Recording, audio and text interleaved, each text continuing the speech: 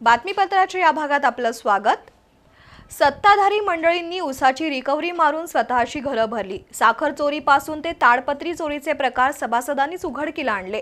कारखान्याचा विनाश करणाऱ्या लुटारू टोळीला सभासदांनी कारखान्यातून हद्दपार करावा असं आवाहन भोगावतीचे माजी अध्यक्ष सदाशिवराव चरापले यांनी केलं. शिवशाहू परिवर्तन आघाडीच्या वतीनं कळंबा इथं पत्रकार परिषदेत ते बोलत होते. भोगावती सहकारी साखर कारखान्याच्या निवडणुकीसाठी तीन प्रबळ पॅनेल निवडणूक रिंगणात उतरले आहेत. या निवडणुकीसाठी भाजप काँग्रेस सरापले गट शिवसेना शेका पक्ष शेतकरी संघटना रिपब्लिकन पार्टी या पक्षांनी युती केली आहे. राजकीय घडामोडीनंतर तयार झालेल्या या पॅनेलच्या वतीनं कळंब्यामध्ये पॅनेल प्रमुख आणि उमेदवारांनी पत्रकार बैठक घेतली. प्रारंभी अजित पाटील यांनी उपस्थितांचं स्वागत केलं.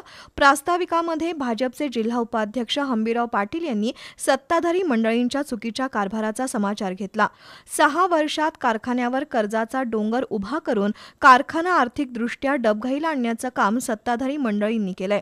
शेतकरी संघटनेचे जालिंदर पाटील यांनी कारखाना वाचवण्यासाठी या पॅनेलची उभारणी केली असून ज्यांचा या कारखान्याशी काही एक संबंध नाही ज्यांनी भोगावती कारखान्याचं वाटोळं केलं त्या ए वाय पाटील यांच्याशी सत्ताधाऱ्यांनी हात मिळवणी केली आहे. त्यामुळं सभासद त्यांना जागा दाखवतील असं बाबासाहेब देवकर म्हणाले. तर कारखाना वाचवतो म्हणणाऱ्या मंडळींनी कारखाना ताब्यात असताना केलेल्या चुकीच्या कामकाजामुळेच कारखाना आर्थिक संकटात आहे. सभासदांची साखर कामगारांचे पगार ठेवीचं व्याज अशा बऱ्याच गोष्टी सत्ताधाऱ्यांनी दिलेल्या नाहीत. अशा प्रवृत्तीला सभासद हद्दपार करतील असं माजी अध्यक्ष सदाशिव चरापले यांनी सांगितलं. पत्रकार परिषदेला पॅनेल प्रमुख आणि कार्यकर्ते उपस्थित होते.